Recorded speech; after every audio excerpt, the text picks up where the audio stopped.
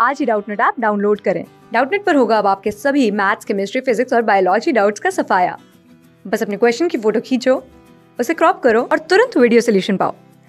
Download now. Hello इस question में से पूछा गया among the following the number of aromatic compound तो हमें बताना कि नंबर ऑफ़ एरोमेटिक कंपाउंड क्या है इस, इन सब कंपाउंड में, कितने एरोमेटिक है वो हमें बताना है। तो सबसे पहले हम देखेंगे कि एरोमेटिक कंडीशन क्या होती है। एरोमेटिक कंडीशन होती है कि फ़र्स्ट कंडीशन होती है कि वो साइक्लिक प्लेनर होना चाहिए। मतलब उसका साइक्लिक और प्लेनर होना चाहिए। प्लेनर से मतलब उसकी हाइब्रिडेशन sp2 टू यानी उस कंपाउंड में सब एटम की। और सेकंड कंडीशन क्या है कि उसमें कॉन्जुगेशन होनी चाहिए। कॉन्जुगेशन मतलब कि उसमें रेजोनेंस होनी चाहिए। और थर्ड कंडीशन क्या है कि उसमें वो four n plus two pi electron का रूल फॉलो करना चाहिए। मतलब कि अगर एन इक्वल टू ज़ीरो करें तो उसमें टू पाई इलेक्ट्रॉन होनी चाहिए। अगर n equal to one put करें तो उसमें सिक्स पाई इलेक्ट्रॉन होनी चाहिए। अगर n equal to two put करें तो उसमें टेन पाई इलेक्ट्रॉन होनी चाहिए। अगर n equal to three put करें तो उसमें फोर्टीन पाई इलेक्ट्रॉन होने चाहिए।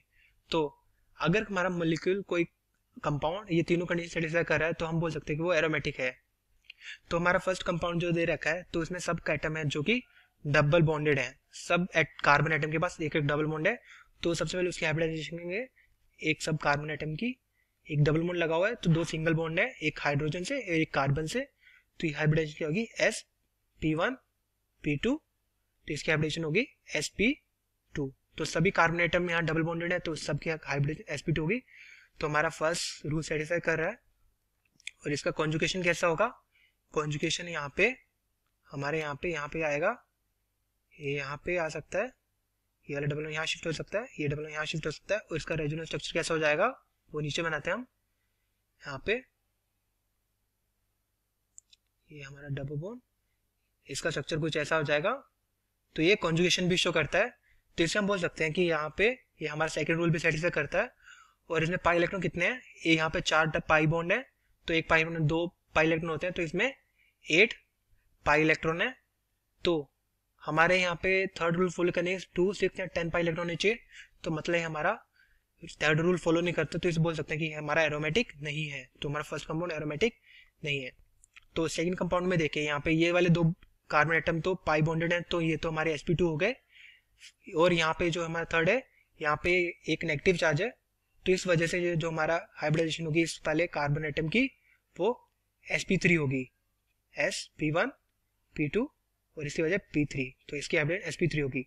बट क्योंकि ये हमारा जो नेगेटिव चार्ज है, वो रेजोनेंस में जा रहा है तो उस वजह से हम बोल सकते हैं कि जो ये हमारी, जो फुल्ली sp3 नहीं होगा, बल्कि ये हमारा रेजोनेंस की वजह से रेजोनेट कर रहा है तो इसको हम पार्शली ये वाले को हम पार्शली बोल सकते हैं कि ये हमारा जो sp2 होगा। तो ये फुली sp3 ना होने की वजह पार्शली sp2 है तो इस वजह से हमारा ये फ़र्स्ट रूल सेटिस्फाई कर रहा है, और इसमें कॉन्जुकेशन भी हो रही है तो इस वजह से हमारा ये सेकेंड रूल भी सेटिस्फाई कर रहा है, और इसमें पाइलेट कितने हैं? पाई बॉन्ड की वजह से टू और पाई नेगेटिव चार्ज की वजह टू तो इसमें चार पाई इलेक्ट्रॉन है। बट हमारे रूल थर्ड रूल को फॉलो करने के लिए टू या सिक्स होने चाहिए थे पाई इलेक्ट्रॉन तो इस वजह से हमारा सेकेंड बी जो है, वो रेडोमेटिक नहीं है। अब हम थर्ड का देखें। थर्ड में हमारे पास यहाँ पे पॉजिटिव चार्ज है। तो पॉजिटिव चार्ज वाले, यहाँ दोनों की तो हम सेम सेकेंड वाले एसपी होगी। और इस थर्ड कार्बन की हमारी हाइब्रिडाइजेशन क्या होगी? यह पॉजिटिव चार्ज की वजह से जो है हमारा यहाँ पे इसकी हाइब्रिडेशन भी s p one s s p one p two इसकी भी हाइब्रिडेशन एस पी टू होगी। तो ये भी हमारा एस पी टू है। तीनों एस पी टू हो गए तो हमारा फ़र्स्ट रूल सेटिस्फाई हो रहा है। सेकंड कंजुगेशन भी हो रही है यहाँ पे, क्योंकि ये डबल यहाँ शिफ्ट हो जाएगा, और इसका रेजोनेंस स्ट्रक्चर कैसा होगा? इसका रेजोनेंस स्ट्रक्चर हो जाएगा कुछ ऐसा। यहाँ पे पाई बॉन्ड आ गया, और यहाँ पे पॉजिटिव चार्ज आ गया।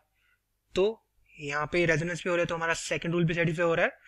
और ये हमारे इसमें कितने पाई इलेक्ट्रॉन है? यहाँ टू पाई इलेक्ट्रॉन है। तो ये हमारा थर्ड रूल भी फॉलो कर रहा है। तो इससे हम बोल सकते हैं कि हमारा जो सेकंड है थर्ड है वो हमारा एरोमेटिक है। अब हम फोर्थ में देखते हैं। फोर्थ में हम देखेंगे कि यहाँ पे स्ट्रक्चर में यहाँ पे जो है, यहाँ पाई इलेक्ट्रॉन प्रेजेंट नहीं है। तो इसे हम बोल सकते हैं पाई बॉन्डेड नहीं है। तो इसे हम बोल सकते हैं कि जो हमारे ये कार्बन आइटम है तो यहाँ पे सिंगल बॉन्डेड है। तो इस वजह से जो हमारा ये है, ये सिंगल बॉन्डेड है। तो इस वजह से चार इसके पास वैलेंसी होती है कार्बन के पास। तो इसकी हमारी हाइब्रिडेशन होगी s p one p two p three तो इसकी हाइब्रिडेशन होगी एस पी थ्री तो एस पी थ्री हो गई तो मतलब ये हमारा प्लेनर नहीं है। तो हमारा फ़र्स्ट रूल ही सेटिस्फाई नहीं कर रहा। तो इससे हम बोल सकते हैं कि हमारा जो फोर्थ है, वो एरोमेटिक नहीं है। अब हम फिफ्थ में देखें। फिफ्थ में देखें तो ये ये बाकी सब, इस वाले कार्बन को छोड़ के बाकी सब पाई बॉन्डेड है तो बाकी सब तो हमारे एस पी टू है बट यहाँ पॉजिटिव चार्ज है। तो हमने भी यहाँ पे देखा था पॉजिटिव चार्ज में भी यहाँ पे हाइब्रेशन एस पी टू ही होती है। तो हमारा फ़र्स्ट रूल सेटिस्फाई कर रहा है ये। अब इसमें हम अगर रेजोनेंस देखें तो रेजोनेंस स्ट्रक्चर हमारा कैसा होगा? जो हमारा ये पाइप बॉन्ड है, यहाँ शिफ्ट कर सकता है, ये वाला यहाँ शिफ्ट कर सकता है, और ये वाला यहाँ शिफ्ट कर सकता है। तो इसका स्ट्रक्चर हमारा कैसा बन जाएगा? इसका स्ट्रक्चर हमारा हो जाएगा कुछ ऐसा। यहाँ पे हम इसका स्ट्रक्चर बना लें। जो हमारा ये था पाइबोन यहाँ आ गया। एक पाइबोन यहाँ आ गया, एक पाइबोन यहाँ आ गया पॉजिटिव चार्ज यहाँ आ गया। तो ये इसका रेजोनेंस स्ट्रक्चर हो गया और इसमें पाई इलेक्ट्रॉन कितने हैं? यहाँ पे तीन पाई बॉन्ड है, उसकी वजह से यहाँ पे six pi bond pi electron है। तो इस वजह से हमारा ये थर्ड रूल भी सेटिफाई कर रहा है। फ़र्स्ट तो इसे हम बोल सकते हैं कि ये हमारा, ये एरोमेटिक है। अब हम इसमें देखते हैं, इस वाले कंपाउंड में, इस वाले कंपाउंड में देखें यहाँ पे ये हमारा जो है, यहाँ पे ये साइक्लिक तो है और साथ ही यहाँ हाइब्रिडेशन सब कार्बन की। यहाँ पे पाई बॉन्डेड है तो यहाँ पे sp2 हो गई और पॉजिटिव चार्ज है, इसकी भी एसपी टू हो गई। तो ये फ़र्स्ट रूल सेटिस्फाई कर रहा है और कॉन्जुगेशन जहाँ पे भी ये कॉन्जुगेशन दिखा सकता है, ये पाइबोन यहाँ शिफ्ट हो गया, ये पाइबोन यहाँ शिफ्ट हो गया। इसका रेजोनेंस स्ट्रक्चर हमारा कैसे हो जाएगा? इसका रेजोनेंस स्ट्रक्चर हमारा कुछ ऐसा हो जाएगा, जो हमारा ये पाइबोन यहाँ आ गया, ये वाला यहाँ आ गया, और यहाँ पे पॉजिटिव चार्ज आ जाएगा। और ये हमारा सेकंड रूल भी सेटिस्फाई कर रहा है इसमें पाई इलेक्ट्रॉन कितने हैं? दो पाई बॉन्ड की वजह से फोर पाई इलेक्ट्रॉन है। तो हमारा थर्ड रूल फॉलो नहीं कर रहा तो इसे हम बोल सकते हैं कि जो हमारा ये है तो ये हमारा एरोमेटिक नहीं है। थर्ड रूल फॉलो नहीं कर रहा। तो ये सेम इसकी वजह से सेम इस जैसा है।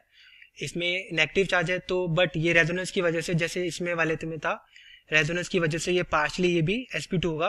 तो इस वजह से हमको इसको भी बोल सकते हैं कि ये पार्शली sp2 वजह से ये ये हमारा जो है साइक्लिक प्लेनर है। और इसमें कंजुगेशन भी होगी। ये नेगेटिव चार्ज जो है, यहाँ पे शिफ्ट हो जाएगा। और ये पाइबोन यहाँ पे, और ये पाइबोन जो है, यहाँ पे चला जाएगा।